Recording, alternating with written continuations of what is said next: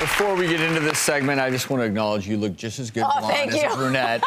but I want you all to imagine a cream that can instantly remove your under eye bags. It sounds way too good to be true. But all over the internet, there are videos surfacing of this so called miracle cream in action. So, what are we going to do? We're going to put it to the test with our good friend, Dr. Sonia Batra, and Esther as well. So, what, what is this product? So this is a product we're going to see if it works. It's called Instantly Ageless. And the idea is that it works very quickly. And the way it works is you just need a very small amount. And then you apply it to areas where you might be a little bit puffy.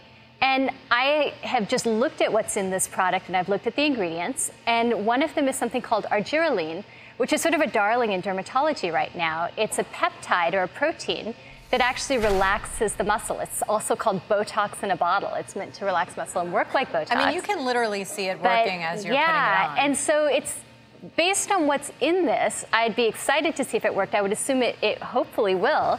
Well, and It- Esther is perfect Yeah, for this. she's Her perfect for skin this. is so good. Mm-hmm. She has very few fine lines, but she clearly has those bags from from herniated fat under on her lower eyelid. exactly. And is that wind from the fans sealing it in or something? the other No, it's active to make her look ingredient? sexier.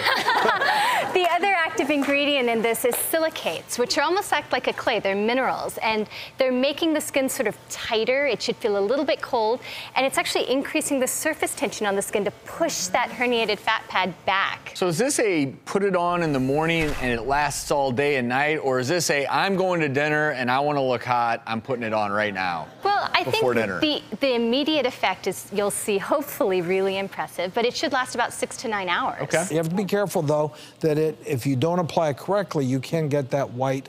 You can get a bit of a chalky residue if you put too much. And then the other drawback is not everybody's going to react well to this product. It won't work for dark circles. It's not very likely to do much for that.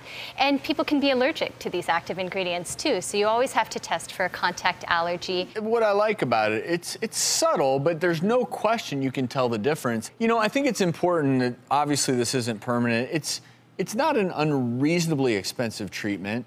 Um, I'm not sure exactly what it costs, It's about but $75 for 50 sachets for something Wow. like this.